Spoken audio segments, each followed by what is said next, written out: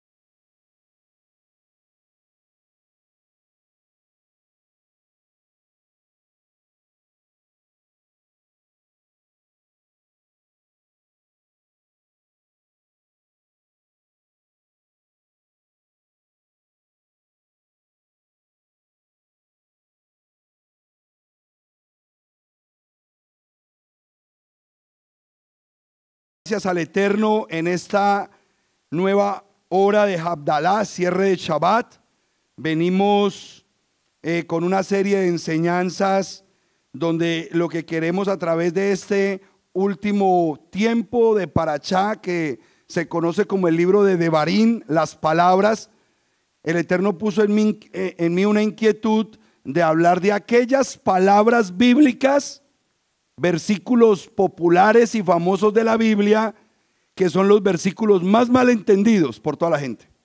Son los más famosos, los que todo el mundo usa, pero no los sabe usar. Y hay una serie de información caminando detrás de esos versículos que nada tiene que ver con la realidad. Ese ha sido el enfoque que el Eterno ha puesto en mi vida. ¿Por qué? Nosotros ya llevamos varios años donde usted entra a la página, usted puede encontrar las enseñanzas de la Parachá. ¿Quiénes vieron la enseñanza de Parachá esta mañana a las 9 de la mañana? Tremendos expositores, una información preciosa. Cada día los maestros que están enseñando Parachá son mucho más elocuentes, elevados, con unción. Es una bendición grande el canal de GoToMeeting para que nosotros nos eduquemos. Entonces yo al final del cierre en el Habdalá, yo traigo una palabra que inquiete a todos los que nos están siguiendo a través de la internet. Les doy a ustedes herramientas que de una forma u otra se convierten en herramientas evangelísticas en el área de la Torá para que usted pueda ayudar a otros a salir del sistema eh, tan frenado espiritualmente que tienen por el sistema religioso que manejan desde hace 1800 años. Las enseñanzas se llaman los versículos más populares de la Biblia, los versículos más mal entendidos de la Biblia. Esta es la parte número cuatro. Llevamos cuatro videos con este. Así es que espero que hayan visto los tres anteriores y que ustedes que forman parte de MC hayan compartido esta información.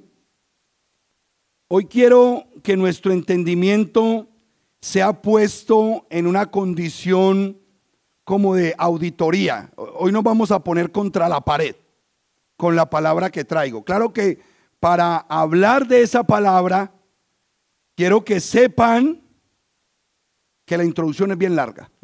Porque si no hago la introducción larga, no me van a entender el versículo hacia dónde va. Diga conmigo, tiempos de restauración de todas las cosas.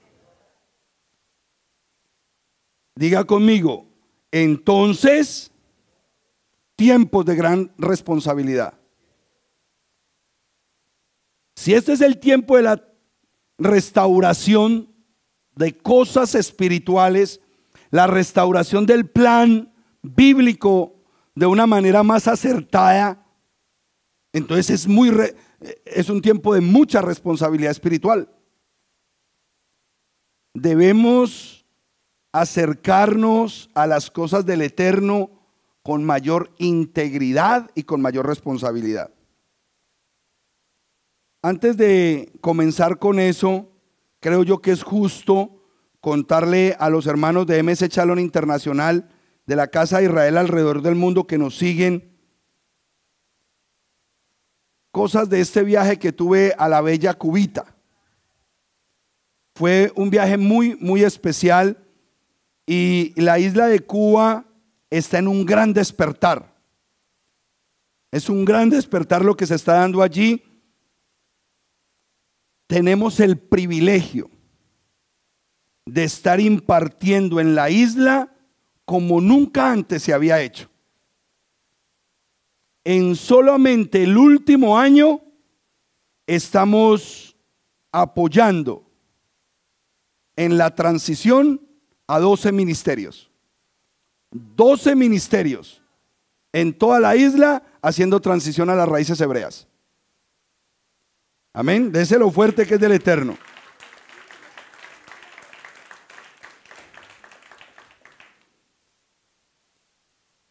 Ustedes no se alcanzan a imaginar la dicha espiritual, el gozo espiritual que hay cuando te están esperando con tantas ansias para que les entregues el mensaje.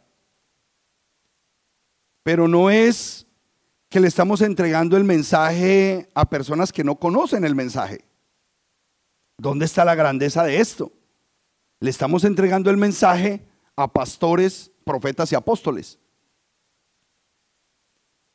Qué cosa tan rara la que está pasando hoy. Ahora, entiendo que en Cuba, por las mismas condiciones de vida, es un país que permite que todavía el pueblo sea humilde. Y digan, espérate que de pronto las cosas que están pasando allá afuera, porque ellos se están dando cuenta que aquí afuera en América está pasando algo importante con el mensaje, ellos están siendo muy receptivos. Con una diferencia muy enorme con el pueblo aquí afuera. Y quiero que sepan que el pueblo cubano en cosas de la Biblia es muy educado. Conocen Biblia, hermano mío. Tengan cuidado porque usted podrá decir, no, yo vivo en los Estados Unidos, pero quizás ni conoces la portada de la Biblia y personas allá han cogido una sola bibliecita que la tienen así de ancha, porque todas las hojas están arrugadas, gordas, pero de, lo viejas que son, pero se la saben. Entonces, debemos ser más agradecidos con la información que tenemos aquí afuera, porque hay gente que está restringida, pero la está aprovechando. Y eso está pasando en Cuba. Yo hice una regla de tres, o podemos hacer esta regla de tres. Si en un año 12 ministerios están en transición, el otro año pueden ser 144 ministerios que estén en transición. Este es un mensaje muy poderoso que se está filtrando de una manera especial en medio del pueblo del Eterno, porque la Torah es la justicia de Yahweh y ha llegado el tiempo de la justicia de Yahweh al pueblo de Dios. Amén. Entonces, quiero que estén orando fuertemente, Baruch Hashem. Esos son los aplausos que quiero que salgan en vivo. Eh, me decían que a veces cuando doy el testimonio y alguien habla por el micrófono, no se oye el del micrófono. Entonces quiero que estén pendientes de ese micrófono, de que sí eh, haga su trabajo correctamente. El encargado de la restauración de todas las cosas, vamos a conectar con la, con la enseñanza anterior mía. Yo sé que El hermano Santos trae unas palabras poderosísimas. El pueblo del Eterno se goza con ese cubanito de 20 años aquí, pero es un hombre que no ha sido contaminado por el cristianismo regular. Él llegó a los 14 años aquí y lo único que conoció fue Torah. Y por eso puede hablar de la manera que habla. Y, nos estamos dando cuenta que el Eterno está trayendo mucha juventud a la Torah que no está viciada de una información que tiene al pueblo de Dios atorado. El pueblo que ya ha pasado por otros gremios está atorado.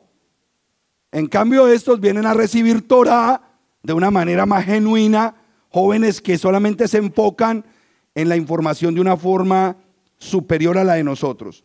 Yo les decía que para que pudiera venir el Mesías, tenía que primero restaurarse todo. Y leímos los versículos. Hablábamos de que el encargado de la restauración de todo es alguien antes de que venga el Mesías. ¿Quién? Muy bien, Elías. Cuando vemos a Elías en el plano bíblico, se le estableció una palabra que él es el que prepara y deja todo listo para la venida del Mesías. Vamos a Isaías capítulo 40 para que podamos tener constancia de lo que les estoy diciendo. Cuando lo tengan, me van diciendo amén.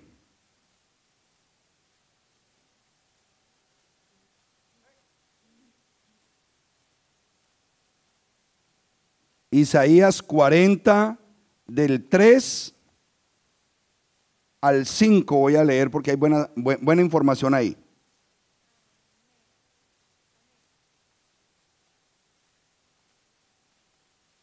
Voz del que clama, preparen el en el desierto un camino para Yahweh, enderecen una carretera en la soledad para nuestro Elohim. Ojo con esto, que se rellene todo valle, que se rebaje todo monte y toda colina, que lo que es áspero se convierta en llanura y lo escabroso en amplio valle. Eso es restaurar, eso es cambiar, eso es hacerlo diferente. Yo les hago una pregunta. Para nosotros poder rellenar valles, derribar montes y colinas, todo lo escabroso, dejarlo planito. Y todo lo que está así como mal ubicado quede totalmente, totalmente plano. ¿Qué necesito? Maquinaria, retroexcavadoras, aplanadoras. ¿Te imaginas la maquinaria para dejarlo todo plano?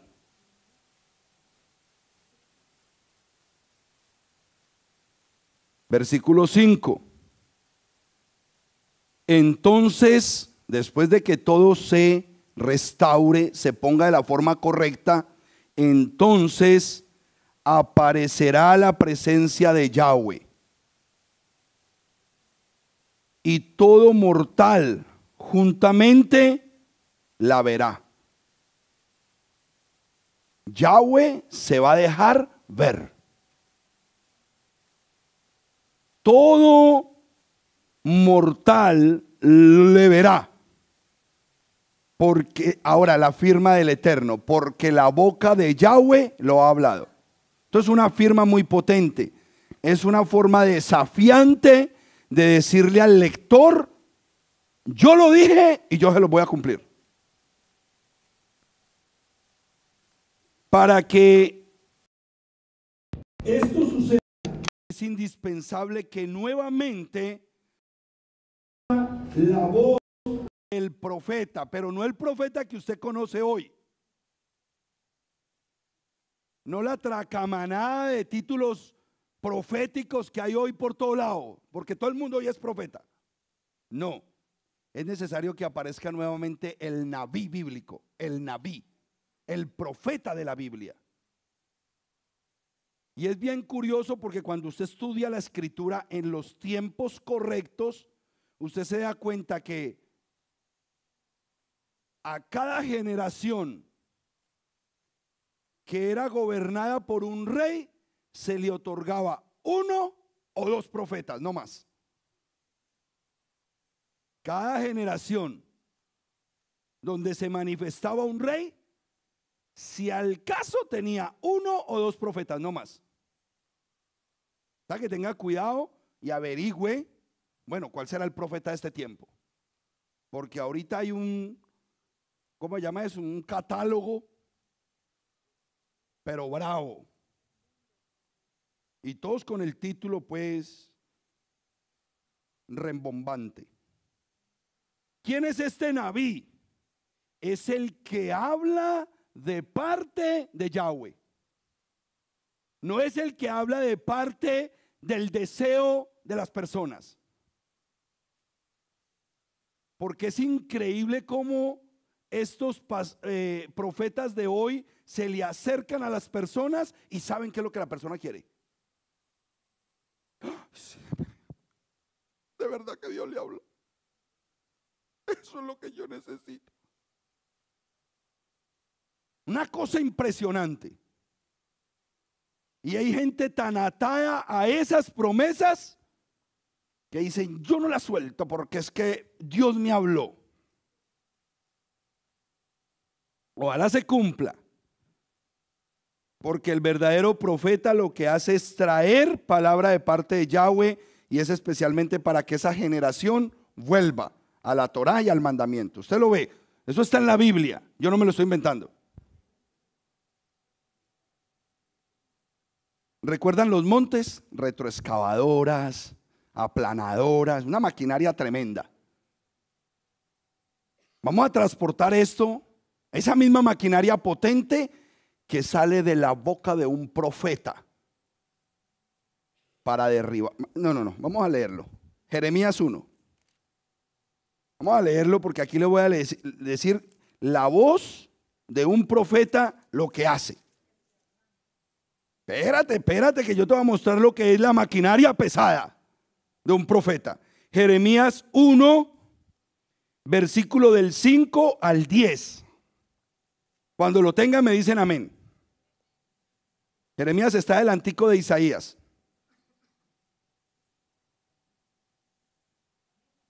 Amén, Baruch Hashem. Mire lo que se dice de un profeta de ese calibre. Antes de que yo te creara en el vientre, te elegí. Antes de que nacieras, te consagré. Te nombré profeta concerniente a las naciones. Entre las palabras parciales que hoy se dan, a todos nos dijeron que todos teníamos eso. A todos nos han dado esta palabra.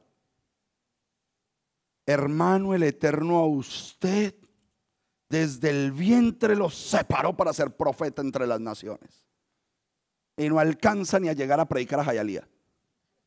Pero eso sí le mete en la película de que usted fue conocido desde el vientre y que usted le va a predicar a todas las naciones. Usted se lo cree.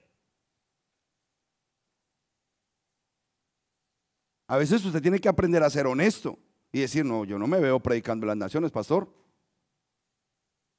entre todo el gremio de pastores de MC que yo tengo eh, bajo cobertura, bendito el Eterno, solamente uno ha tenido los pantalones de decirme, pastor, llevo pastoreando seis años, pero yo sé que yo no soy pastor. ¿Cómo así? Sí, pastor. Y gracias a Dios estoy llegando a este ministerio porque le informo de una vez que yo no soy pastor, yo soy misionero. Así es que prepáreme porque me tengo que ir para otro lado. Pero hoy hay una idea que todo el mundo es lo que el otro le dijo que era. Y esto es un llamamiento divino. ¿Por qué? Porque cuando este profeta de la Biblia es visto desde el vientre de su madre, es conocido y separado desde el vientre, ¿para qué sirve? Sigamos. Yo respondí, oh Adonai Yahweh, mira que no sé hablar porque soy todavía un muchacho. Versículo 7, pero Yahweh me dijo, no digas, soy todavía un muchacho, sino ve a donde quiera que te envíe y habla todo. Habla todo lo que yo te mande. no tengas temor de ellos. No les tengas temor porque yo estoy contigo para librarte, declara Yahweh. Yahweh extendió su mano y tocó mi boca y me dijo Yahweh, ahora pongo mis palabras en tu boca. ¿Qué hacen las palabras de Yahweh en la boca de un profeta separado desde el vientre para cumplir la voluntad de Yahweh? Versículo 10. Mira, en este día te nombro sobre naciones y reinos para arrancar y derribar, para destruir y derrocar. Ay, ay, ay. Pura catapulta, retroexcavadora. Usted arranca montes. Usted todo lo que está así tosco, usted lo desbarata y lo pone liso, limpio. Y usted no va a tener miedo de derribar, de destruir, de sacudir, de desbaratar. No tenga miedo. Eso es un profeta. Porque es la única manera de que Yahweh pueda venir. Yahweh no va a venir porque el profeta te diga que vas a tener casa, carro y beca. Yahweh no va a venir porque el profeta te mostró que ibas a tener trillizos. Yahweh no va a venir porque el profeta te mostró que la casa enseguida también será tuya. A eso no viene el profeta de Yahweh. Viene a derribar y arrancar, a destruir y a desbaratar. A eso viene el profeta de Yahweh. Sigamos. ¿Por qué es necesario arrancar y derribar? ¿Por qué es necesario destruir y derrocar? Aquí hay una palabra, derrocar. derrocar. Está maluca, porque ya entra en política. Yo no digo voy a derrocar este monte. Yo no digo voy a derrocar esta pared. Voy a derrocar esa autoridad. Voy a derrocar ese liderazgo. Voy a derrocar esa forma de autoridad. A eso vino el profeta. ¿Y para qué se hace todo esto? Diga conmigo, ticum. Corrección. Para arreglar. ¿Por qué? Porque este profeta, aparte de derrocar, de desbaratar, de destruir, de acabar con lo que hay y ponerlo todo llanito, luego viene a edificar y a plantar. Es un gran arado el que está haciendo. Él va a poner una llanura bien arada para sembrar poderosamente y edificar poderosamente en ese lugar preparado.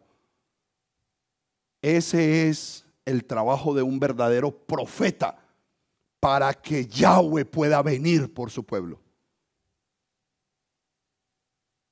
Se lo estoy leyendo en la escritura, amado hermano.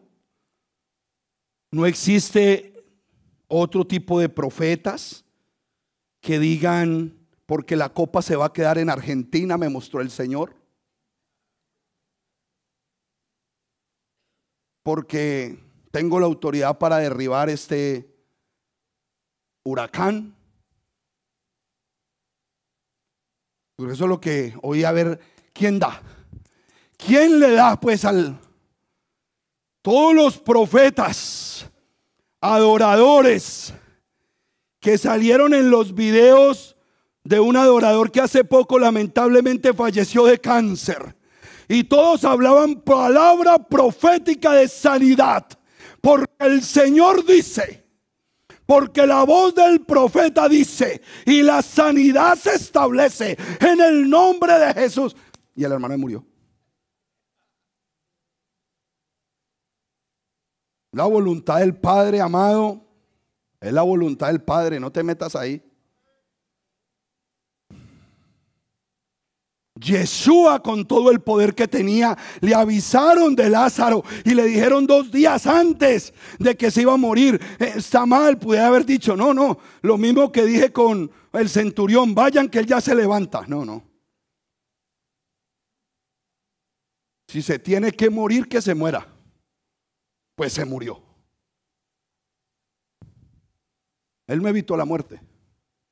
Si se tiene que morir, pues que se muera.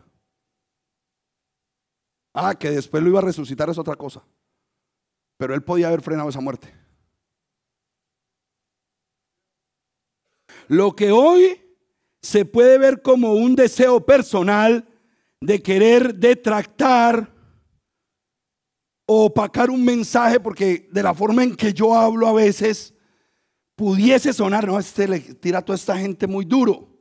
No, no, no, no. Yo vine a hacer una tarea en esta tierra. Yo vine a hacer una tarea y el Eterno me entregó un mensaje de restauración que lo voy a enseñar a los cuatro rincones de la tierra delante del que tenga que enseñarlo.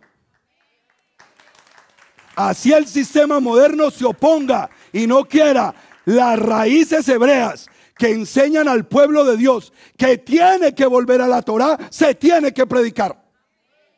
Así nos digan legalistas, judaizantes. Yo en estos días meditaba en Cuba. Pastor, eh, padre, ¿yo qué hago? Es que la palabra legalista eh, es muy fuerte, judaizante. Y me venía a mi espíritu, es que el judaizante más grande que hay se llama el Ruach HaKodesh. El espíritu más judaizante que existe se llama el Ruach HaKodesh, el espíritu de santidad, porque el espíritu de santidad es el espíritu del Mesías y el Mesías es un judío y la salvación viene de los judíos.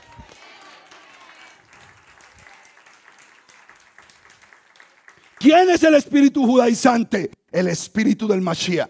Alejo compartía el miércoles porque diez hombres de las naciones se pegarán de los tzitzit de un judío. Porque diez hombres de las naciones, está hablando de las diez tribus dispersas, se pegarán de los tzitzit de un judío. ¿Cuál judío? Yeshua Hamashiach. Todos nos vamos a pegar de esos tzitzit. El espíritu más judaizante que existe es el espíritu de santidad. Porque nuestros hermanos judíos hasta el día de hoy han guardado su Torah, han guardado su mandamiento. Entonces eso me llenó de tranquilidad allá en el sector del Cotorro, porque nos quedamos en el sector del Cotorro en La Habana. Tradicionalmente, el cristianismo evangélico está operando bajo las raíces católicas de la fe de desobediencia. El movimiento de nosotros es raíces hebreas de la fe bíblica. Pero todo lo que ha sido desengranado y viene en la línea católica pertenece a las raíces católicas de la fe de desobediencia. Todo ministerio que dice ya no hay que hacer eso, eso fue abolido, eso ya no va, pertenecen al gremio de las raíces católicas de la fe desobediente. Apunten ahí. Frase legendaria del pastor Diego Higuita en el 2019. Nuevo movimiento. La voz del profeta, de un profeta como Eliyahu, porque vamos a entender por qué yo siempre les estoy diciendo que tú y yo estamos operando bajo el poder de Elías. No soy yo el profeta, es toda la casa de Israel la que está bajo el poder de Elías. Somos todos nosotros los que vamos a hacer una aplanadora, una retroexcavadora, todos juntos aplanando el camino para la venida del Mesías. Somos todos nosotros ese profeta. Porque de la manera que en un cuerpo tenemos muchos miembros, pero no todos los miembros tienen la misma función, así nosotros siendo muchos, somos un cuerpo en el Mesías. Aquí estoy viendo yo la retroexcavadora. Aquí estoy viendo yo la caterpillar que va a derribar. Un pueblo unido preparando el camino del Mesías. Esta voz profética de Eliyahu recibe la orden. Si usted es un profeta de Yahweh, usted primero tiene que aprender a arrancar y a derribar, a destruir y a derrocar. Ay, pastor, pero es que me da una pena con una familia, lo de la, Navidad. Usted no es capaz de derribar ese arbolito de Navidad, mi hijo. Si uno es capaz de arrancar de su vida y de su familia esa tradición, no pretenda ser de los que van a cambiar el sistema para recibir al Mesías. Porque hay que arrancar la tradición hay que derribar esas fortalezas mentales culturales que usted trae de su país y de su nación. Usted tiene que destruir el sistema religioso que le enseñaron y derrocar el liderazgo que le enseñó a esas situaciones. Eso es necesario si usted lo quiere hacer. Pero es que es difícil. ¿Por qué? Vamos a ver qué le pasó a Elías. Oh, Elías, vamos a ver qué le pasó a Elías. Vamos al primer libro de los reyes, porque decirlo es muy fácil, pero yo sé que es difícil. Primer libro de los reyes. capítulo 18.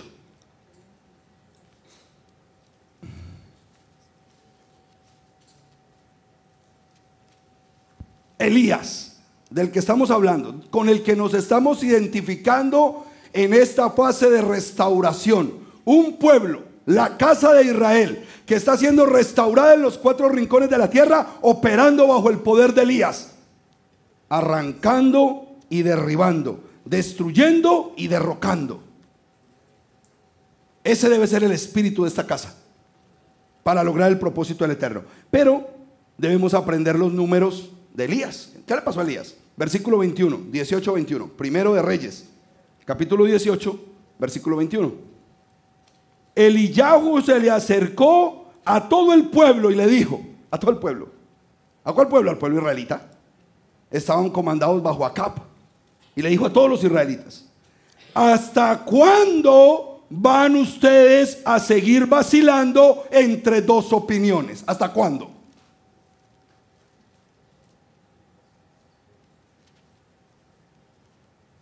¿Hasta cuándo, hermano? Vas a seguir vacilando entre dos posiciones.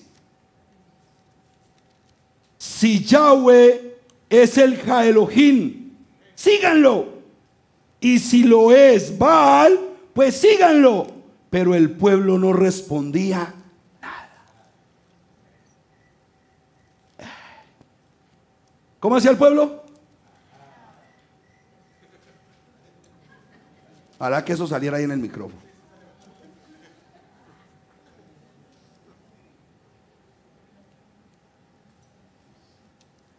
En esa época Elías no tenía problema el pastor Diego Higuita en estos tiempos, vio, nos vio en la internet, él nos vio en Facebook, vio. No publiques esas fotos. Ya no tenía ese problema en esa época. Él decía todo el mundo, viste, nos vieron. ¿Hasta cuándo vas a estar en dos aguas? ¿Hasta cuándo vas a seguir tu indecisión? Toma la decisión. O vas a seguir a Yahweh de los ejércitos o vas a seguir el mundo. El sistema religioso contaminado. El sistema cristiano paganizado. ¿Hasta cuándo?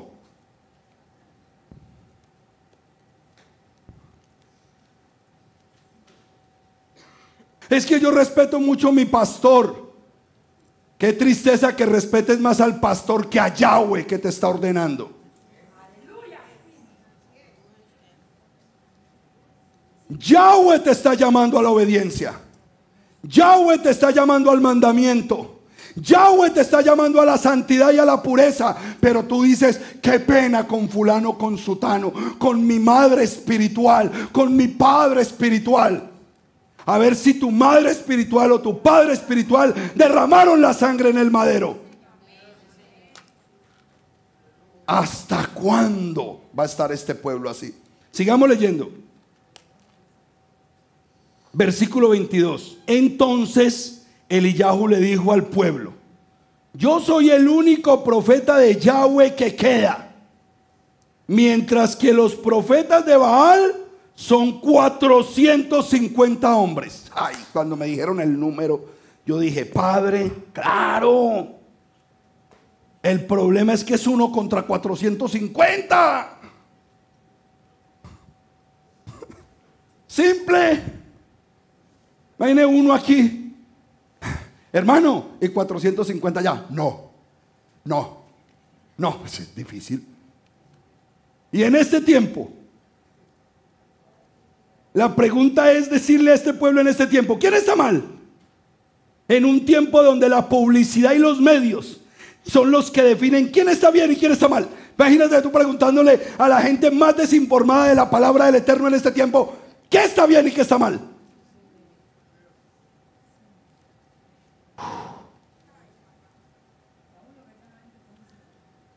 Hoy, que todo el mundo es deslumbrado a través de los sentidos. Los grandes espectáculos cristianos. Las luces. El sonido. Las mejores bandas.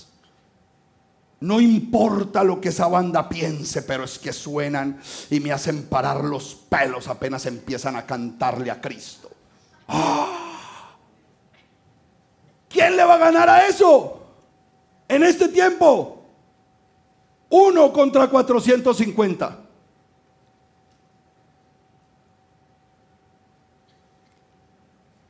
Muy difícil. Todo lo que hoy vemos, todo lo que oímos, lo que saboreamos, lo que olemos, lo que tocamos. Este tiempo es una, un tiempo donde esta generación está tan deteriorada y que los sentidos de esta generación están totalmente desplazados de los verdaderos valores humanos, ni siquiera bíblicos, ni siquiera bíblicos, porque hoy en las iglesias cristianas, hoy rabinos con kipá y talí casando a dos hombres.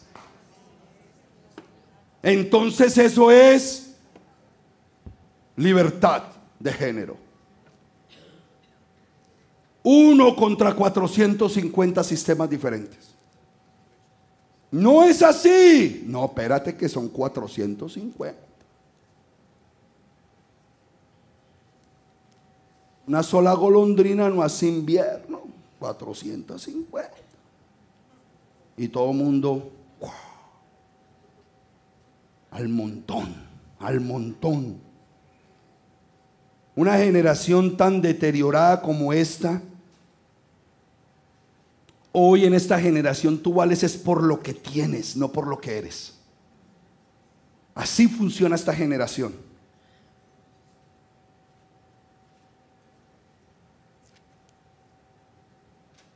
Pero usted y yo estamos en la luz, hermano mío. Usted fue llamado a un camino de luz donde usted puede ver las cosas correctamente. Usted puede diferenciar entre el 1 y el 450. Usted puede. Porque usted ya está en la luz. Primero, porque conoció al Mesías, que es la luz del mundo.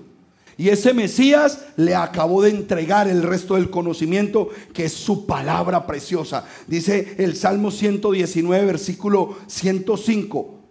Luz es tu palabra en mi camino y lumbrera tus pies. Tienes al Mesías que es la luz y tienes su Torah que es la luz.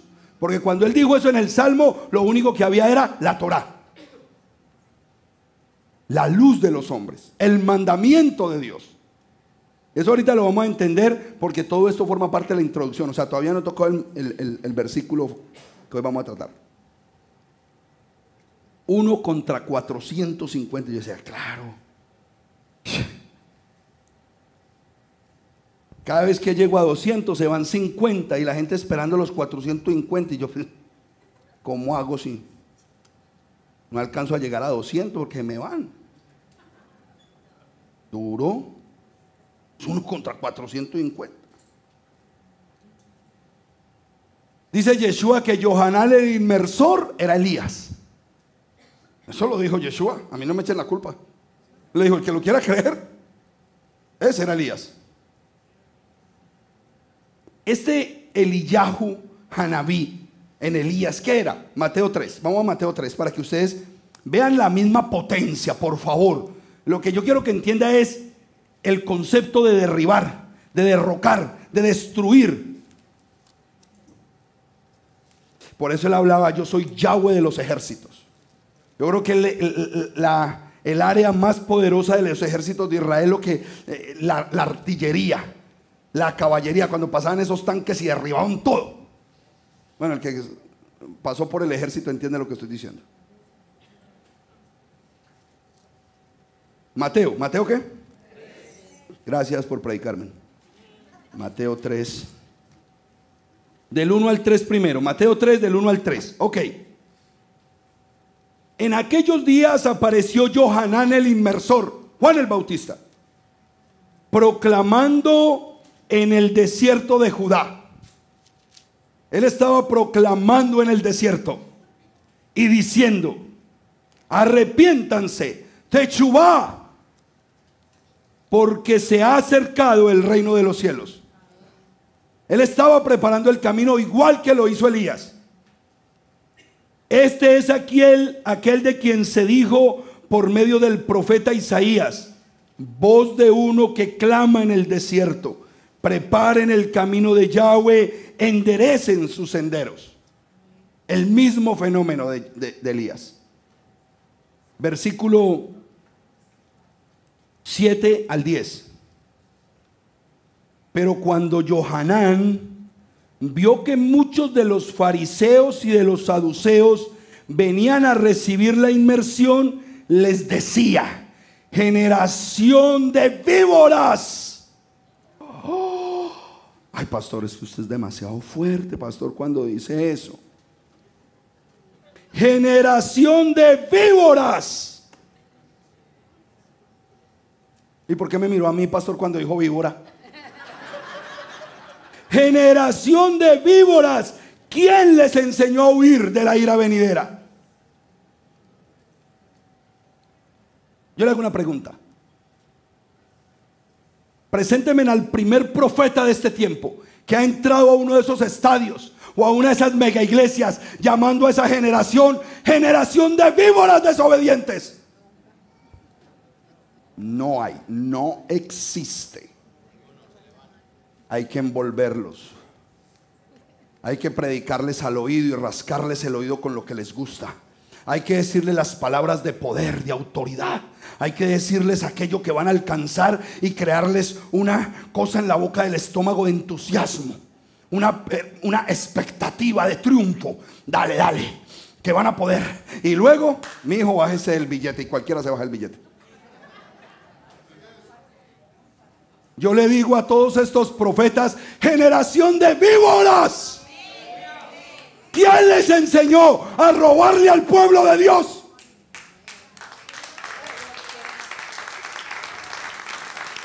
¿Quién les enseñó a robarle al pueblo de Dios? Descarados.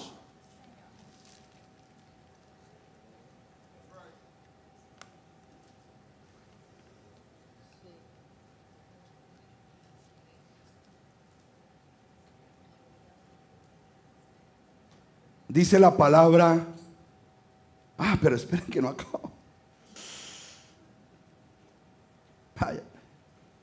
Lo que me falta decirle a esta generación de víboras, no son ustedes. Ustedes, ustedes son de la luz. Le estoy hablando a esa generación de víboras que dicen ser profetas y el Eterno dice que les habla y no les ha hablado que sean obedientes y vuelvan a los mandamientos de Dios. Y le quieren definir la vida a la gente con sus profecías. Generación de víboras. Son una generación de víboras que están secando al pueblo de Dios financieramente. Sigamos, versículo 7, ¿no? Ya les dije víboras. Ocho, produzcan frutos que demuestren su arrepentimiento. Y el único fruto que demuestra el arrepentimiento es volver a los mandamientos de Yahweh. No existe otra forma. No es haciendo una carita de yo. Amén, yo ya me convertí. Aleluya. De Chabad en Chabad, de luna nueva en luna nueva, de fiesta del eterno en fiesta del eterno, guardando los mandamientos de mi rey, comiendo correctamente, no cerdo, no mariscos, lo que dice la escritura. Mientras tanto, si siguen predicando de esa manera, son una generación de víboras que ahora están en los púlpitos.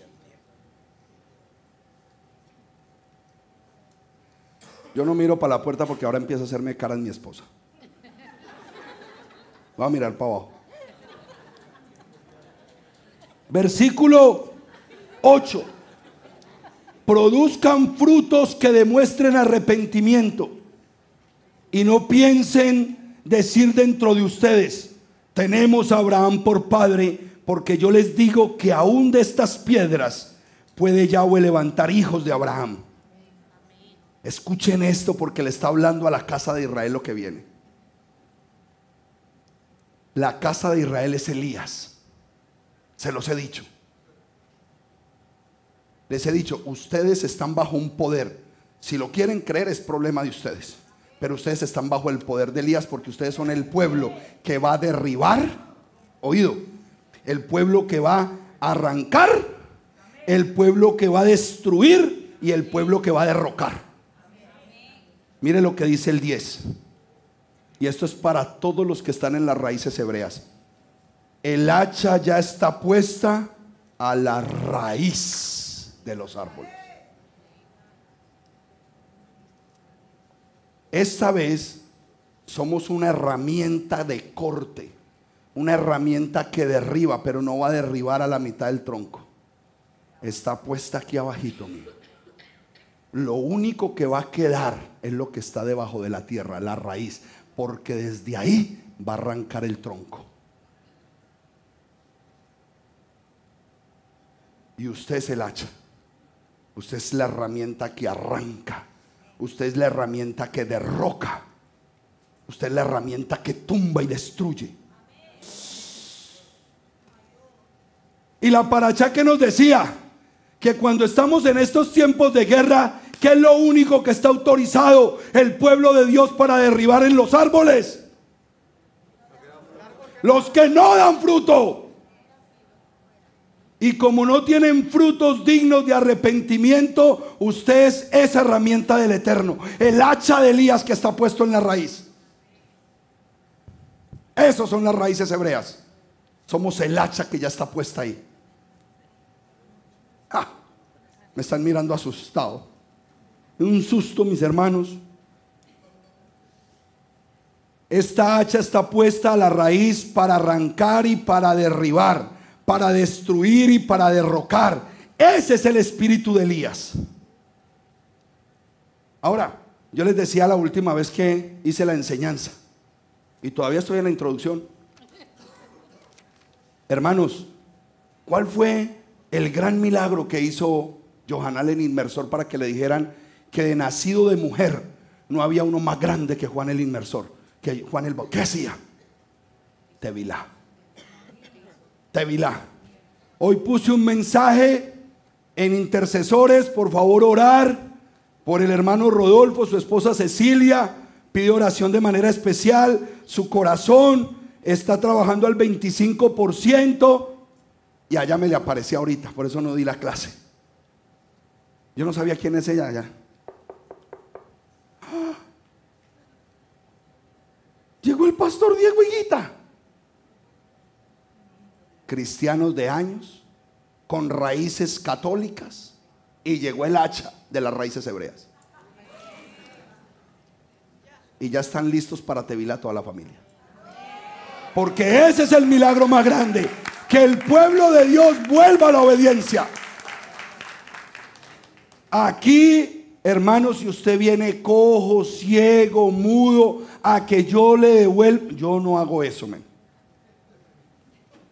Mi trabajo es que usted se vuelva obediente siendo cojo, ciego y mudo.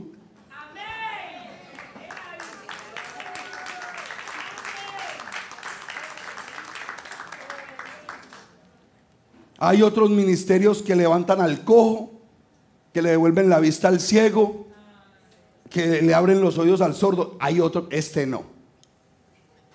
Este le enseñamos al cojo, al ciego y al mudo a que sea obediente, a que guarde los mandamientos del Eterno, porque el que trae la sanidad es Él, no yo.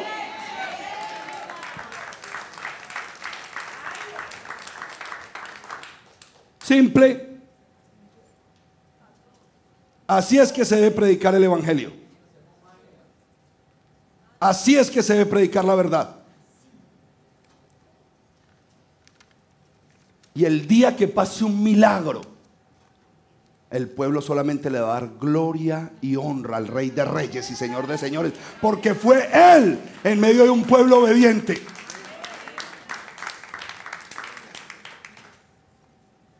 La gran cruzada de sanidad en el, en el, hotel yo no sé qué, la gran jornada de sanidad en el estadio. ¿Por qué no lo hacen en el Jackson Memorial? ¿Por qué no hacen la jornada de sanidad y milagros en el piso de oncología?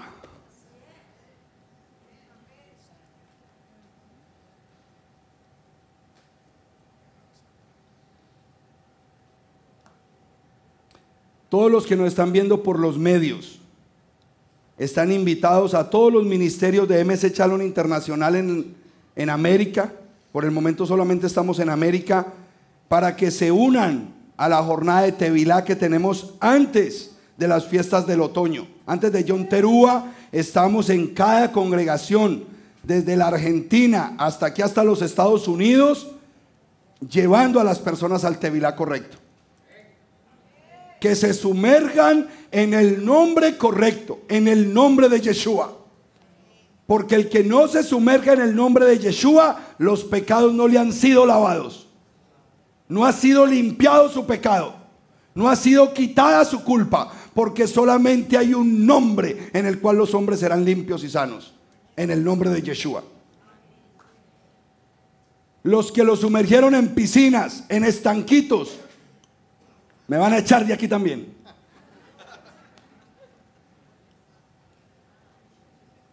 La escritura no dice que hay ríos, mares, lagos, aguas vivas, aguas que corran, que broten de la tierra. Y si no usted todavía no ha sido injertado al olivo verde cultivado Israel. Usted es un prosélito, pero no ha sido injertado. En Miami estaremos haciendo esta jornada de Tevilá. Quiero que lo pongan ahí los digitadores. En Collins y la 72 Street a las 7 de la noche. Nos daremos cita el viernes 27 para que toda persona en el sur de la Florida que diga, pastor, yo quiero empezar con el Tevilá, yo quiero sumergirme correctamente. Los esperamos el 27 de septiembre, viernes, a las 7 de la noche, en Collins y la 72 Street, para que usted sea sumergido correctamente. Nosotros somos un ministerio que no está buscando llenar la congregación. Nosotros fuimos llamados a traer la gente al reino. Ese es el trabajo de Elías. Bueno, ahora sí, esta era la introducción. Vamos al pasaje famoso de los profetas. Porque hay versículos que los utilizan como efectos especiales al final de la prédica. Con este cerramos ofrenda mesida y todo el mundo corriendo allá. era, eh, Alejo era el que estaba diciendo esta mañana en la enseñanza. Se tiran al suelo, que tiren los billetes encima del profeta. La otra llega y coge un manto y que cojanlo así, una sábana, y lleven eso ahí. No, no, no. Tristeza ver eso.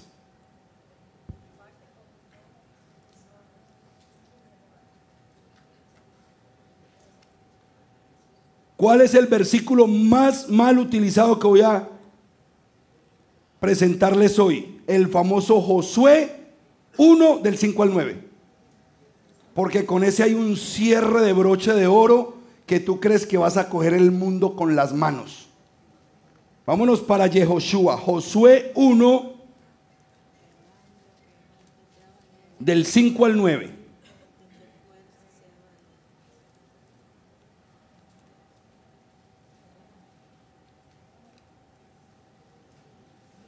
Ahora, Quiero leerles el versículo 5 y el versículo 9 y se van a dar cuenta que es como un paréntesis que dice lo mismo. El versículo 5 dice, nadie podrá hacerte resistencia mientras viva. Como estuve con Moshe, así estaré contigo. No te fallaré ni te abandonaré. Así empieza ese pasaje. Y lo cierra en el 9 diciendo lo mismo. Lo que te encargo es que seas fuerte y resuelto. No te atemorices ni te desanimes, que Yahweh tu Elohim estará contigo a donde quiera que vayas. ¿Qué le estaba diciendo a, Josué? Mi hijo, lo que usted va a hacer no es fácil. Porque usted también va a ir a derribar y a destruir, a derrocar. Usted va a tumbar todas esas naciones que están en el lugar donde yo voy a poner a mi pueblo. Él era el comandante en jefe de los ejércitos de los escuadrones de Israel que por 14 años tomaron posesión de la tierra de, de, de Canaán y derribaron las siete naciones que vivían allí. Josué, varón de guerra, así es nuestro eterno, varón de guerra. Quería presentarles ese paralelo. Es como un paréntesis. Ese paréntesis en el versículo 5 en mi corazón cruzó con la palabra que les dije ahorita. Vuelvo a leerlo. Nadie podrá hacerte frente, eh, perdón, nadie podrá hacerte resistencia mientras viva. Como estuve con Moshe, así estaré contigo. No te fallaré ni te abandonaré. El hacha está puesta a la raíz. El hacha está puesta, varón. Mujer de Dios que me escuchas, el hacha está puesta. Y es tiempo de derribar. Es tiempo de destruir. Es tiempo de derrocar lo que no es de Dios. Porque hay que preparar el camino para la venida del Mesías. Eso lo hace el espíritu de Elías. El cielo lo retiene hasta la restauración de todas las cosas. Nosotros en el espíritu de Elías tenemos que restaurar todo eso para que Él venga. Versículo 6. Pongan atención. Necesito un ejemplo. Eh, hermano, se me fue. Eh, Manuel, venga pues Manuel, venga pues.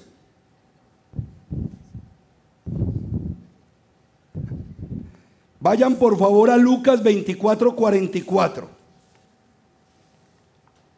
Yo les tengo que hacer esto. Esto cada ratico lo hago en los grupos porque si no, no entienden. Aquí le voy a entregar los tres rollos de la Tanakh. Esta es la Torah. Este es el rollo de los profetas. Y este es el rollo de los ketubín, los salmos. Así andaba el rabino. No así. No así. Eran rollos. Venga para acá, esto va a ser un rollo aquí. El rollo de la Torah, así se escribía el rollo de los profetas y el rollo de los salmos. Así salía el rabino. Se los compruebo. Lucas 24, 44. Yo se los voy a comprobar por boca del Mesías Yeshua.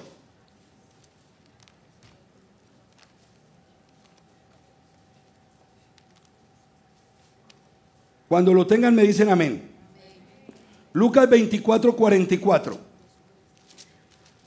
Y les dijo, esto fue lo que se les hablé estando aún con ustedes, que era necesario que se cumplieran todas estas cosas que están escritas de mí en la Torá de Moisés, en los profetas y en los salmos.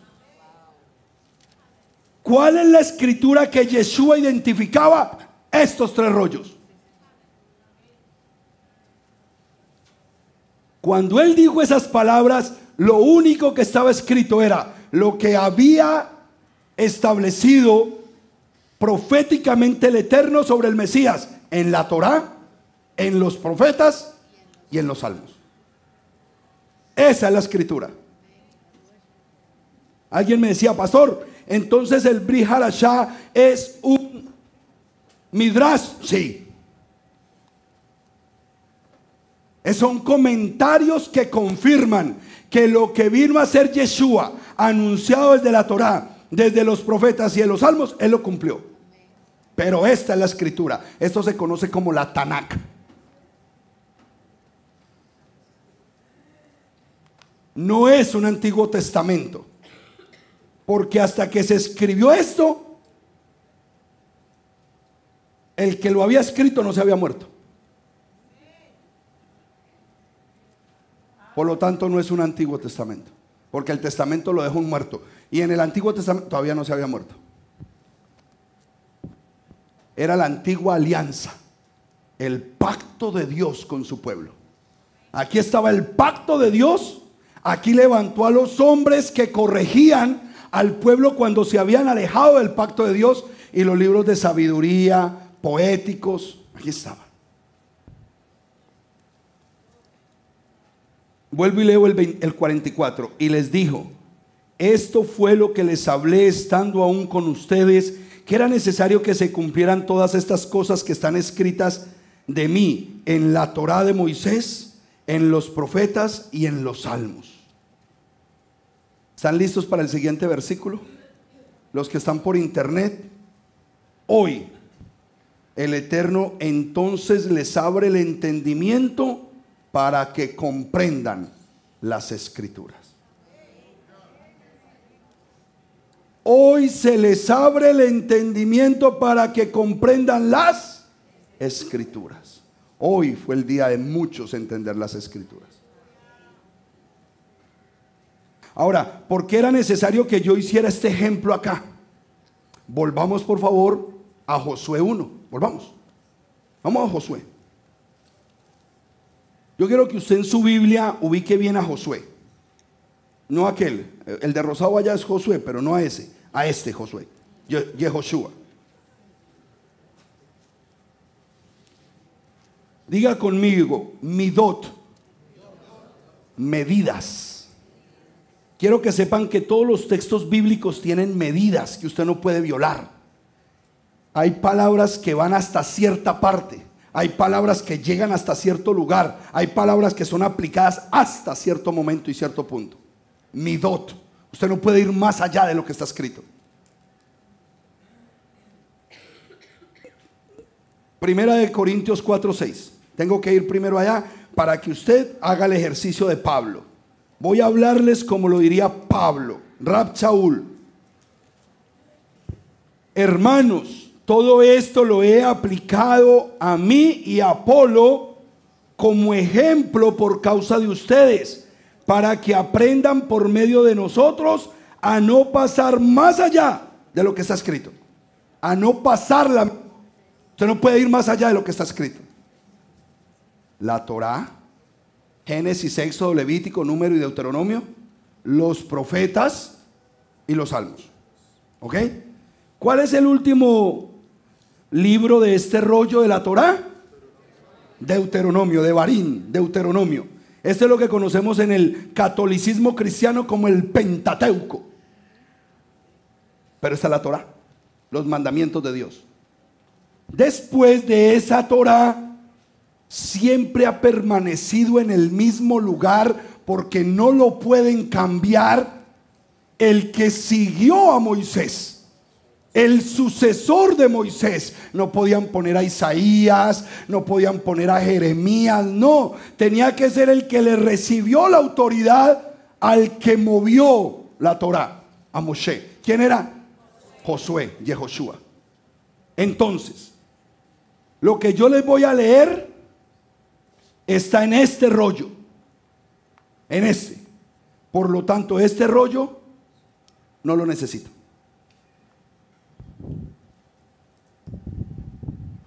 Lo que yo les voy a leer de Josué está en este rollo. ¿Y en dónde? En el primer capítulo. Por favor, el primer capítulo, téngamelo acá, porque el resto no se ha escrito.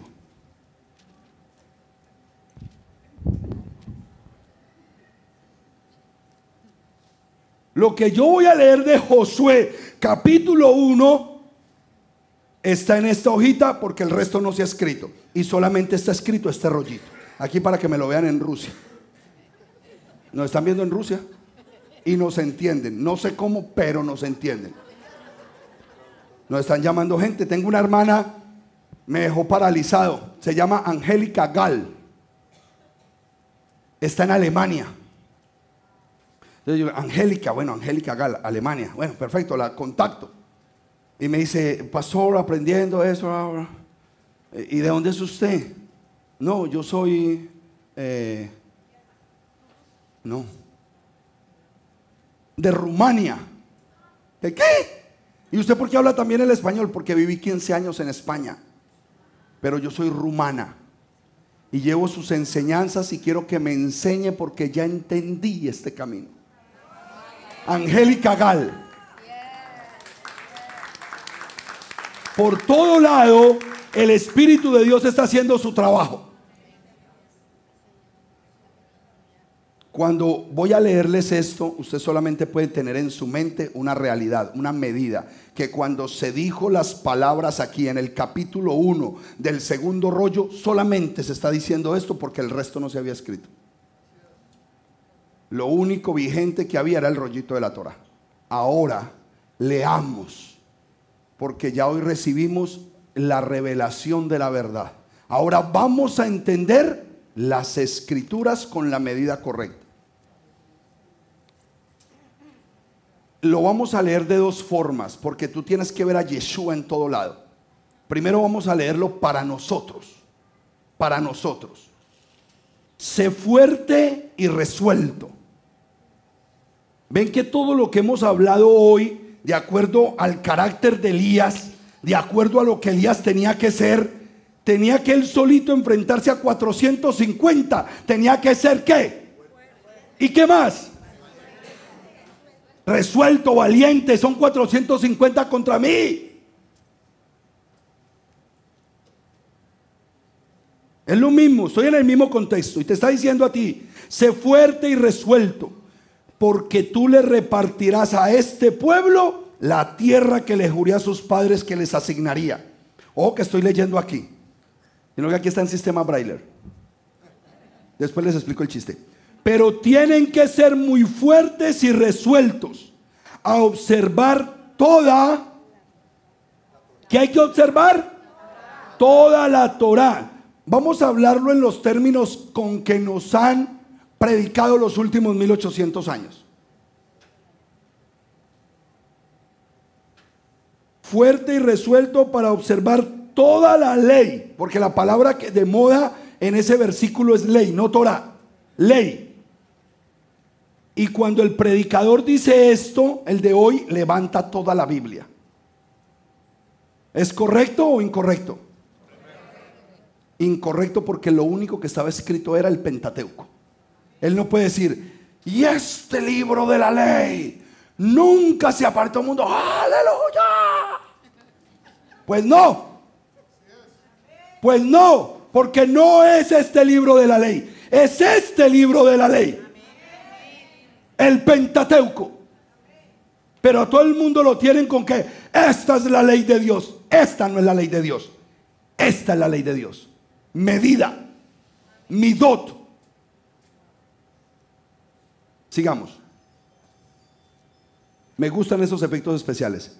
Pero tienes que ser muy fuerte y resuelto a observar toda la Torah, la ley que mi siervo Moche te ordenó.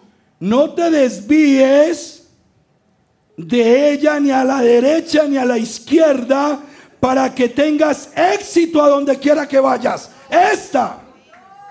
Usted quiere éxito, es esta, no esta. Es esta. Ahí no había nada más en ese momento. Estoy leyéndote esta paginita. Eso no existía todavía.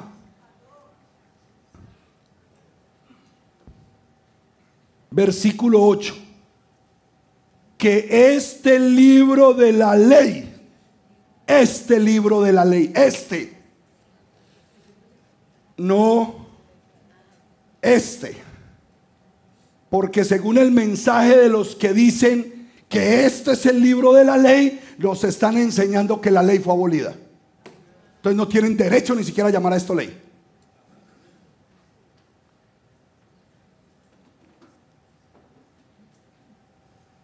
¿Cómo tú le vas a decir a un pueblo que la ley fue abolida y vas a cerrar una de tus prédicas millonarias para luego decir que este es el libro de la ley si tú mismo le estás diciendo al pueblo que la ley fue abolida? Cínico. Esa es la realidad. Sigamos. Que este libro de la Torá nunca cese de tus labios. Este. Sino que lo recites de día y de noche. Para que observes fielmente todo. Todo lo que está escrito en el todo, todo. Sí, hermano, aunque les duela, son 613 mandamientos. Es todo lo que está escrito en él.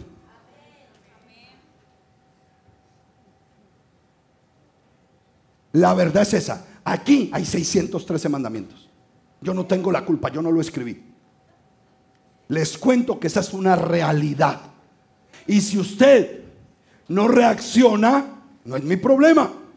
Pero si usted va a escuchar una prédica donde le van a cerrar con ese versículo, al menos que le quede el sabor que le estoy diciendo que lo único de lo que está hablando Josué 1 del 5 al 9 es de este librito acá que se llama la Torah. Ese es el versículo de este día que quiero demostrar que es uno de los más mal usados ahorita, pero de los más famosos porque es que ese es el que levanta al pueblo. Ah, el pueblo sale, esa palabra era para mí. Vamos a comernos una chuletica y en la esquina esa palabra es mía. Te voy a llevar a celebrar una buena, unos buenos mariscos ahorita. Aleluya, eso es mío. Oh, no.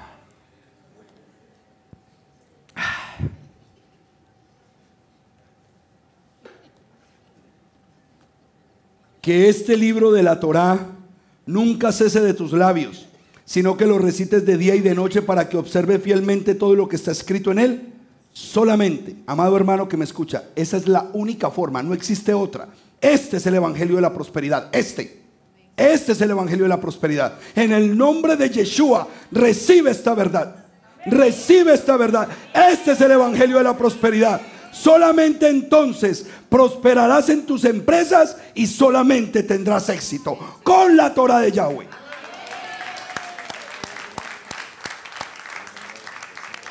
Esa es la realidad del documento. Quédate ahí, amado. Estás llenando mis expectativas hoy. En todo. En todo. Hoy quiero hablarle a todos los que han recibido esta promesa específica y que la tienen anotada en alguna parte, la tienen marcada con resaltador porque eso no se ha cumplido. La única forma, amado hermano, que usted puede tomar esta palabra como una verdad absoluta para usted es que usted vuelva a la obediencia a los mandamientos para que eso se pueda cumplir. Si no, no va a pasar nada. Yo sé que las personas que han marcado esa palabra, que se las dio cualquier otro, no se han cumplido. ¿Por qué? Porque usted no ha entendido la verdad. Esta promesa tiene una medida y se llama la Torah. No es el Briharachá, no es el pacto renovado, no es la sangre del Mesías, no es el famoso Nuevo Testamento, no es esa promesa ahí. Es solamente para la Torah. Porque es importante, amado hermano, que usted reciba este entendimiento. Hoy está despertando un pueblo a la verdad. Y eso es lo que más me apasiona de predicar este mensaje. Porque este no es un mensaje que se está quedando seco. Y uno dice, no, este pastor lleva años predicando agua y nadie le para bolas. No, estoy feliz. Porque cada vez que termino una prédica son 20, 30 y 40 mensajes. Desde cualquier parte del mundo empiezo yo. Dale, llame al pastor eh, Jairo Vaquero. Eh, llame al pastor Ferley Jaque. Y ya, y yo tire para allí, tire para allí, tire para allí. Eso es lo que me apasiona este mensaje. Este mensaje está trayendo un fruto abundante y rápido. Y se está uniendo a este mensaje muchos pastores en el mundo. Porque es importante, amado hermano, que usted reciba estas palabras con poder. Diga conmigo, porque soy yo contra 450. Porque es Elías contra 450 profetas de Baal. Porque es uno solo enfrentándose al sistema. Ese es Elías.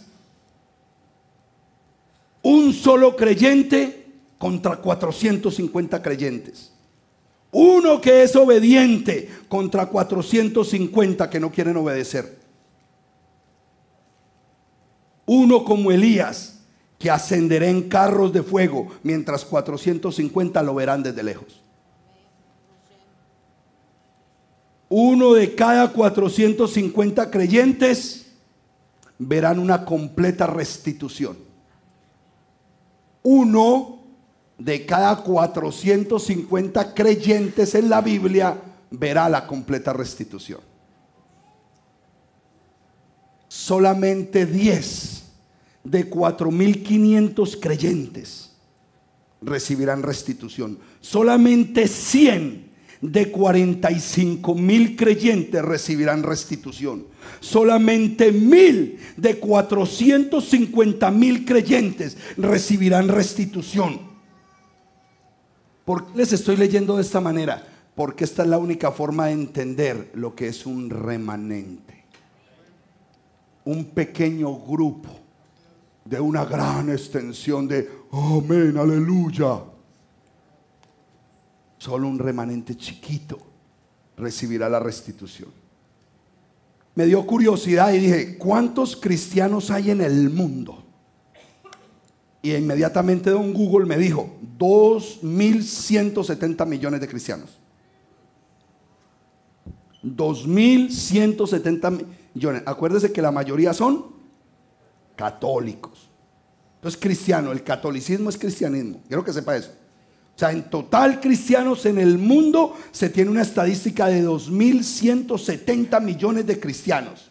Entonces lo dividí por 450. Entonces, la novia, la novia a nivel mundial que capte este mensaje solamente será de 4.822.000 creyentes. 4.822.000. No quiero con esto decirle que ese es el número, no estoy haciendo una proyección loca, porque yo tengo algo de loco, ¿no? ¿Será que yo entro entre esos 4 millones 822 mil 222? ¿O voy a seguir en dos aguas?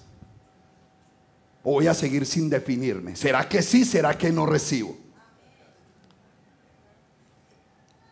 Hoy es un día para tomar decisiones porque nos estamos preparando para las fiestas del otoño. No se asusten por lo que estoy diciendo, simplemente quiero que tengamos un esbozo mundial, general, porque este mensaje está llegando a mucho rincón. Amado, lo que yo vi en Cuba.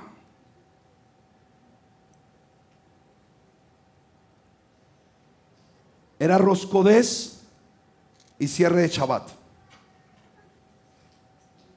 Estábamos en una finquita muy humilde Solamente era el techo y sin paredes. El suelo todavía, los que alcanzaron ver las fotos, saben que era, yo no sé si ya era cemento, pantano bien aplastado, pero muy humilde. Y mi lucha interna fue, yo vengo de los Estados Unidos y yo gano en dólares. Porque el, el, el, el ceder dice, y sonará el chofar sobre las ofrendas. Y era primera vez que yo iba a pedir una ofrenda en Cuba.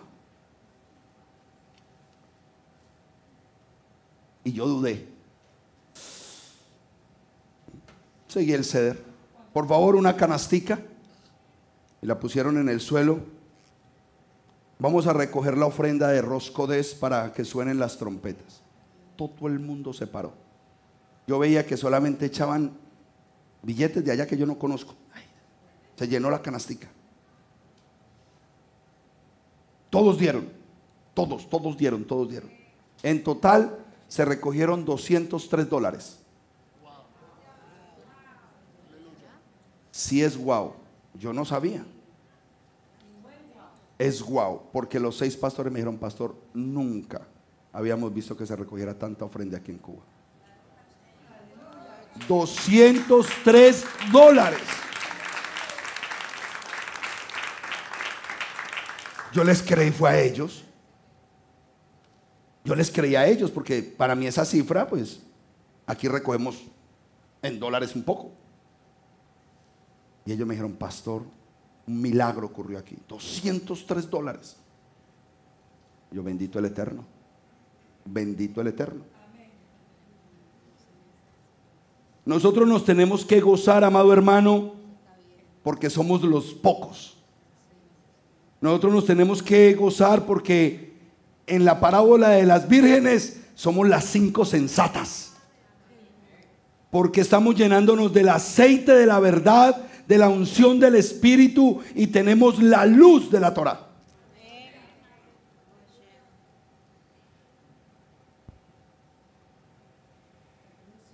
Empezamos con la Torah que nos dice, guarden mis mandamientos. Guarden mis mandamientos. Guarden mis mandamientos. Le dice a Josué aquí, si quieres tener en éxito en todo, medita en este libro de mis mandamientos y guarda todo lo que está celosamente escrito acá. Y prosperarás en todo. Aquí. Y quiero cerrar con la última página de la Biblia. Apocalipsis 22, 14. Ahora, en Apocalipsis 22, 14 me toca leer con una Biblia Reina Valera de 1569. ¿Por qué Reina Valera? Porque la más conocida. Pero me tocó la 1569 porque alguien le dio por cambiar el versículo. Y ahora en la mayoría de versículos dice, todos los que estén vestidos de ropas blancas. La ropa blanca la venden en Ross, en cualquier parte, en Walmart. Así no dice el versículo original. Apocalipsis 22, 14. Cuando lo, lo tengan me dicen amén. Bienaventurados los que qué? Los que guarden sus mandamientos para que su potencia sea en el árbol de la vida y que entren por las puertas de la ciudad. Mírelo como cierra Apocalipsis. Las versiones que dicen felices los, los que tienen vestiduras blancas, tacheso. Porque es los que guardan los mandamientos de Dios. Este es Reina Valera versión 1569.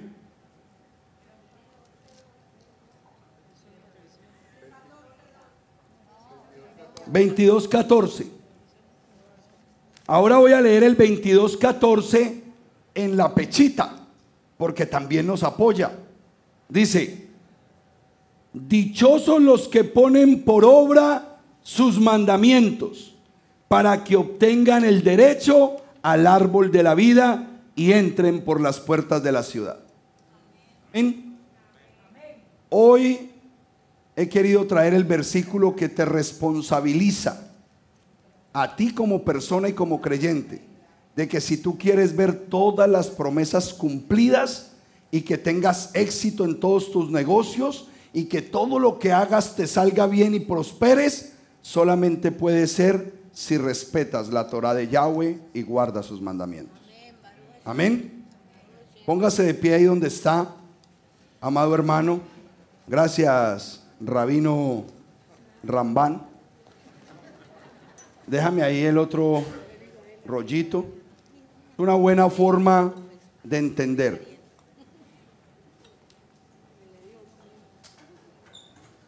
Nosotros estamos en un proceso de preparación.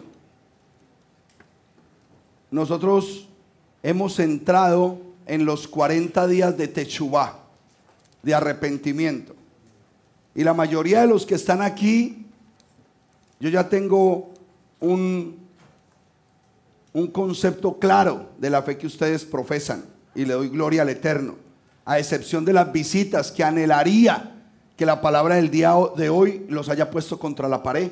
Digan, espérate que a mí nunca me habían dicho así, de verdad que hoy sí sentí un hachazo en el tobillo, porque esa era la idea. Y usted ya aquí salga cojo, al menos.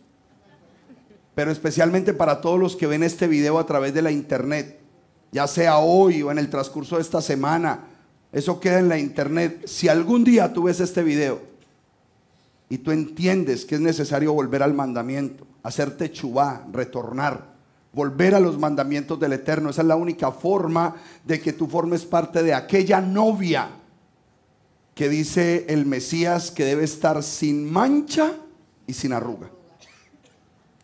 Pura y limpia para la venida del Mesías. Entonces, que este mensaje sirva para que haya un retorno a la verdad de Dios que haya un retorno al compromiso con la palabra. Y para los que están aquí en este lugar, el reto es, deja de andar en dos aguas. Deja de estar pensando en lo de allá afuera que quedó atrás y en lo que se te está presentando el día de hoy. Tú quieres ver el éxito, el triunfo, el chalón y el bienestar que el Eterno promete te tienes que definir. Y yo ya te mostré las dos caras de la definición. O vives bajo el sistema de hoy en día que promociona a los 450 viviendo como les dé la gana, o tú vas a ser de aquellos que como Elías se esconden solamente para la gloria del Eterno y perseveran fuertemente para guardar la santidad que el Eterno pide en el nombre de Yeshua. Estamos cerrando un Shabbat. Y yo le pido a los hermanos que están ahí que cierren sus ojos en este momento. Quiero orar de manera especial para que el Eterno te dé la fuerza de Elías. Para que el Eterno te dé la potencia de Elías, te dé el carácter de Elías. Que tú te puedas sumar al pueblo de Dios que con fuerza y con categoría, con autoridad, dice, yo quiero ser de los que caminan en la luz. Yo quiero mostrarles ese video. Miren ese video. Fueron tres foticos que me mandaron de Cuba después de que el pastor Gio y yo salimos. Se las mandaron al pastor Javier Pérez. Decía, pastor, mire las fotos que nos mandaron, cómo se está desplegando la luz de Dios en estas fotos, me las mandaron hoy y, yo solamente veía en esas fotos la oportunidad que Dios está trayendo a Cuba de que su luz entre, pero no va a entrar en todo lado, solamente en lugares específicos, a pequeños remanentes. Él se va a abrir campo. Él se está abriendo campo y tú formas parte de esos remanentes pequeños. Yo me quedé impactado cuando vi esas fotos y yo dije, sí, Así es que funciona el Dios que yo predico. Él no es el Dios de los 450. Él es el Dios de Elías. Él es el Dios de Abraham, el Dios de Isaac, el Dios de Jacob. Y lo que más debes anhelar es tu poder decir, Él es el Dios de Diego Higuita. Él es el Dios de Robinson, Él es el Dios de Vicky, Él es el Dios de Ricardo, Él es el Dios de Laura, Él es el Dios de Melanie. Cada uno de ustedes saber, ese es mi Dios. Que usted sepa que su nombre, el Eterno lo conoce porque usted ha dado una pauta de decisión. Usted ha decidido caminar para la gloria del Eterno. Usted ha decidido guardarse en la santidad que el Eterno pide para este tiempo tan especial. Amén. Padre Celestial y Glorioso, oro por este pueblo de una manera especial para que tú te glorifiques de una manera poderosa, gloriosa. Que tú le des las fuerzas de Elías, Padre. Que tú le des el mismo potencial que tuvo Juan el Bautista, Johanán el inmersor, de llevar el mensaje correcto para que las personas se sumergieran en, arrepentimiento, en techubá, en retorno. Este es el tiempo del retorno. Este es el tiempo de volver al mandamiento. Este es el tiempo de guardarnos en santidad, Padre. Para los que por primera vez, Padre de la Gloria, recibieron este mensaje y se sintieron confrontados y de pronto hoy mis palabras les permite tomar una decisión y decir, yo necesito caminar de esta forma. Yo necesito un cambio en mi vida y voy a dejar atrás el bulto de los 450 y yo quiero ser un más, uno más del cuerpo de Elías. Yo quiero ser de esos. Yo le voy a pedir que ahí donde está usted levante su mano. Si el espíritu de Elías le ha convencido, Baruch Hashem, Baruch Hashem, Baruch Hashem, Baruch Hashem, Elías, derrama tu poder allí, Padre eterno. Derrama tu fortaleza en ellos, Abba. Llénalos de tu poder, de tu fuerza, de tu capacidad y permíteles, Padre, marcar la diferencia, no solamente en sus hogares, en sus sitios de trabajo, de estudio, en sus vecindarios, Padre. Levántalos en este tiempo que necesitamos hacer la tarea. Y no es fácil tener que derribar, destruir, arrancar y derribar. No es fácil, pero es glorioso cuando tú nos permites edificar y plantar. Danos la oportunidad de edificar y plantar tu verdad en este pueblo en el nombre precioso de Yeshua Hamashiach. En el nombre precioso de Yeshua Hamashiach. Denle un fuerte aplauso al Rey. Bendigamos su nombre. Exaltémoslo de una manera potente, especial, poderosa. Gracias, Dios eterno, por darnos propósito grande en esta tierra. Vamos a hacer nuestro cierre de Shabbat. Les voy a pedir a los hermanos que vayan saliendo muy en orden por el lado izquierdo de sus islas. El lado izquierdo, lado izquierdo, Dieguito, en orden. Luego viene la otra hilera y vuelven y entran por el lado izquierdo así, bien bonitos, con el pan y el vino y se vuelven a ubicar en la misma silla en la que estaban.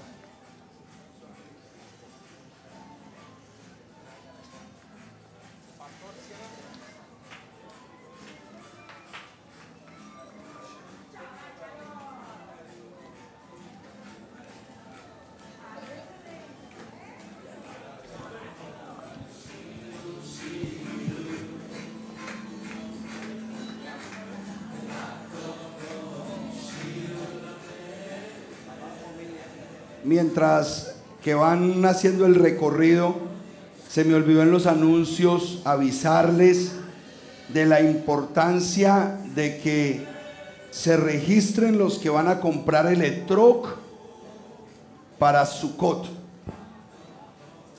La, la, mayoría de los que están aquí ya saben cuál es el etroc, el limón, el cítrico para la fiesta y las ramas, el lulap los jóvenes van a vender el etrog y el lulav y empieza desde 35 dólares. Ustedes saben que su cot empieza aproximadamente el día 13 de octubre. Por eso le estamos avisando con tiempo porque Jacob los va a separar hasta el 4 de octubre. Después del 4 de octubre, ya usted tiene que ir a buscar su etroc y su lulap a donde usted quiera. Pero el que quiera que le traigamos aquí su etroc y su lulap para la fiesta de Sukkot, por favor se inscriben con los jóvenes y antes del 4 de octubre deben haberlo pagado, 35 dólares. Y al final tenemos, después de este Habdalah, en la cafetería unas deliciosas arepas rellenas de pollo.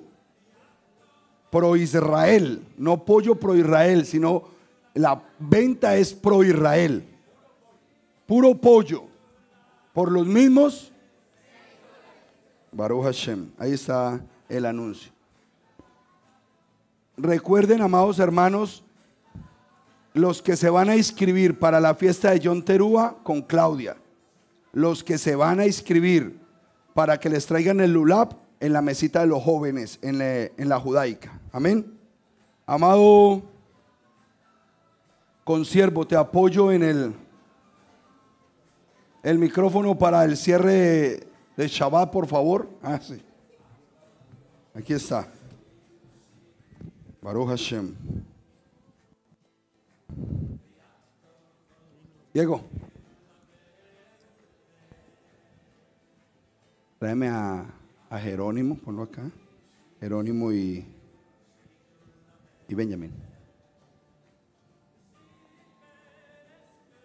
Baruch Hashem.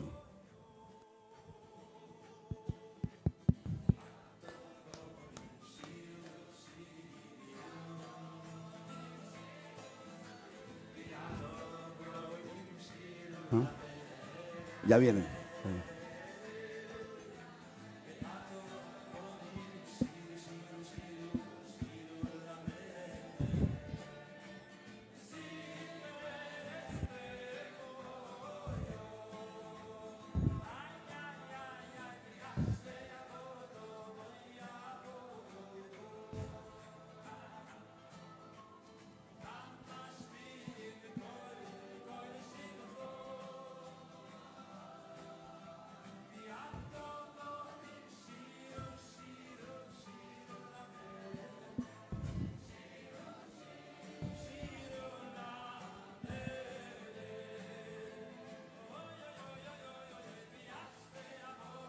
Amado Dagoberto, ¿por qué le echamos sal al pan?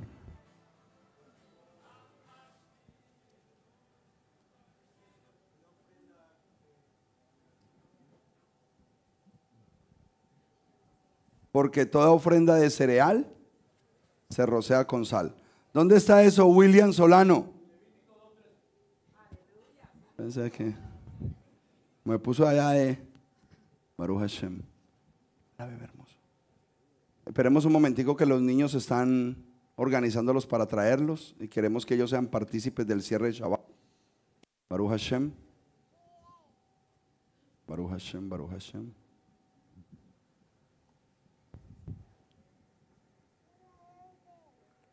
Eh, Melanie, vas distribuyendo aquí los vinitos por alrededor de la, para que los niños de una vez lo vayan cogiendo.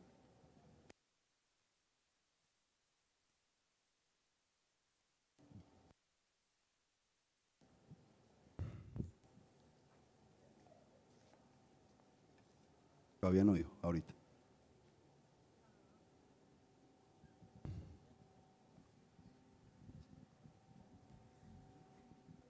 Ya, ya porque los otros no alcanzan a llegar hasta ahí.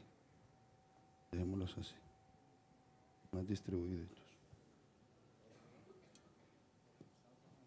Amor, ¿vienen ya los niños o no van a venir? Ah, entonces solamente mándeme en el que se portó bien para que pueda tener eh,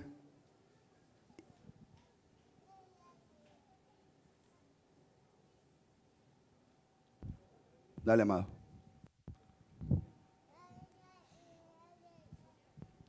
Amados hermanos, los queremos invitar que por favor repitan después de mí, nuestros hermanos en la internet también. Vamos a comenzar con la bendición del pan y después del vino. Todos después de mí, por favor. Baruch Adonai, Eloheinu melech haolam, Hamotzi lehem, min haaretz.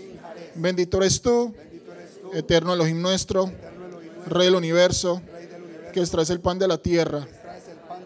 Y bendito seas, Padre, por el pan de vida que descendió del cielo a dar vida eterna a los hombres por Yeshua, nuestro Mesías. Amén. El del vino sí, eh, sí, dice así. Baruch atah Adonai, Eloheinu melech haolam, Bore pri, Hagafen. Bendito eres tú, eterno Elohim nuestro, Rey del universo, creador del fruto de la vida.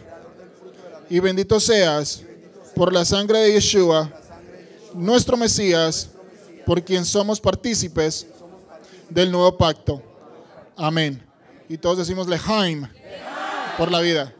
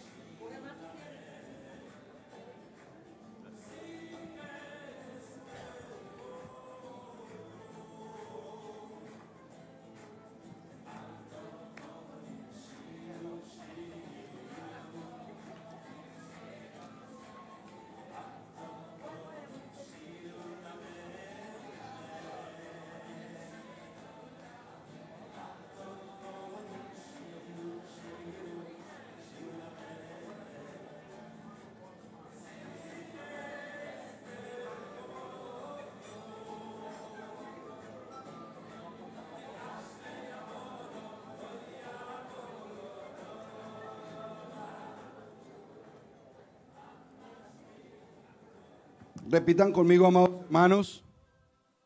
Bata Yahweh. Numele Haban. Boré me oré.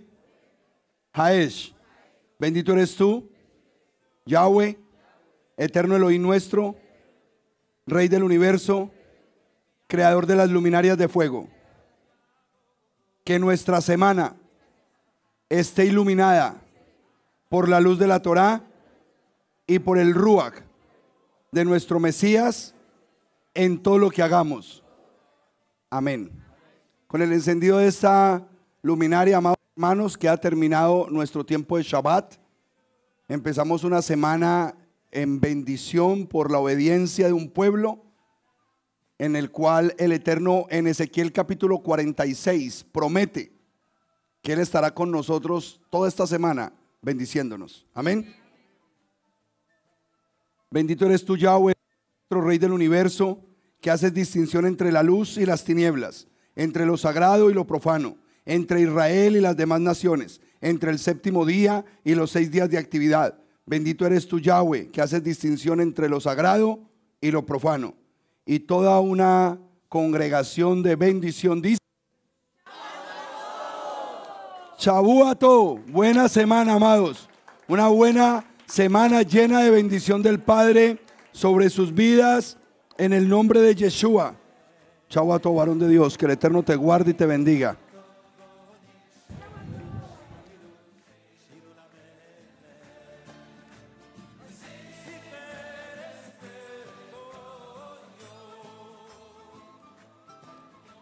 Por favor, no se olviden los chofaristas, los que van a tocarle el chofar en la fiesta de John Terúa.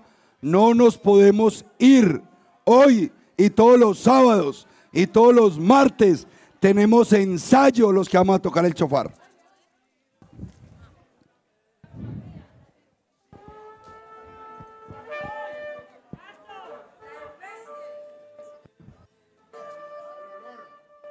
Aquí están.